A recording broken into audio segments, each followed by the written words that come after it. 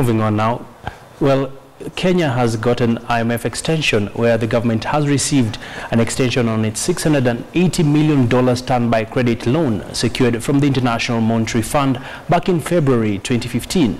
The extension is expected to create a platform for Treasury and the IMF to discuss the possibility of a new facility with similar features.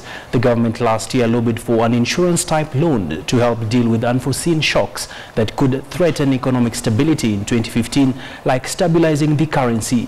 The Central Bank of Kenya calmed volatility in the markets last year after hiking its benchmark lending rate by 3 percentage points to 11.5%, which increased foreign reserves without turning to the IMF standby loan.